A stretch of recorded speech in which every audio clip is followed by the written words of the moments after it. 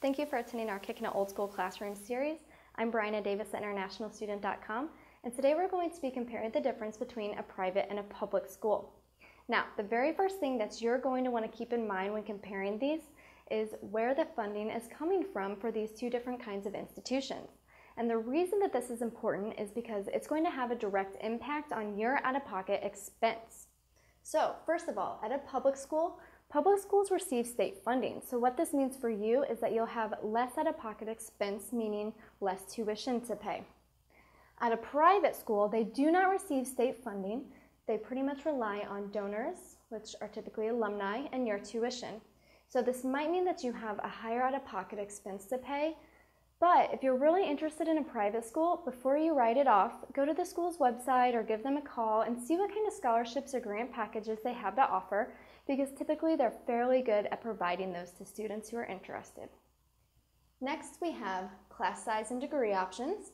So public schools are typically larger, so they're going to have larger class sizes. Now what this means is you're not going to have a one-on-one -on -one relationship with the professor more often than not, and typically you're not going to be able to know the first name of each of your fellow students in your class. But on the flip side, this means that you'll have more degree options, so you'll really be able to find that degree that you're after and pursue it.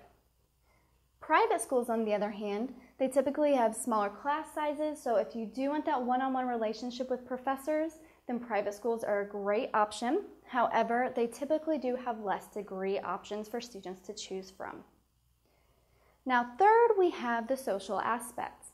And the reason that this is so important is because this is a once in a lifetime opportunity, you're studying abroad, and it should focus just as much on the social aspect as the academic aspect.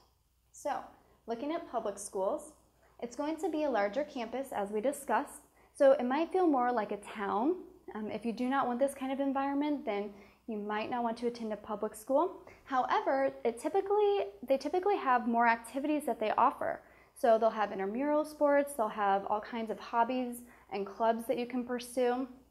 So if you have a more obscure activity that you're interested, interested in, perhaps like fencing or bowling, then a public school might be a good option for you.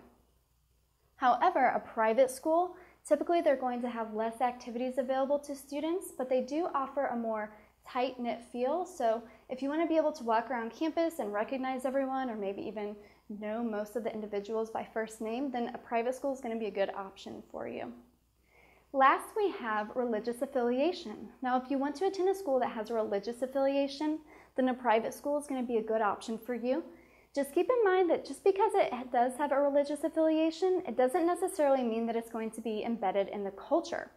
So what that means is you might not actively see people practicing that religion. However, the school might sometimes require students to take a few religion classes.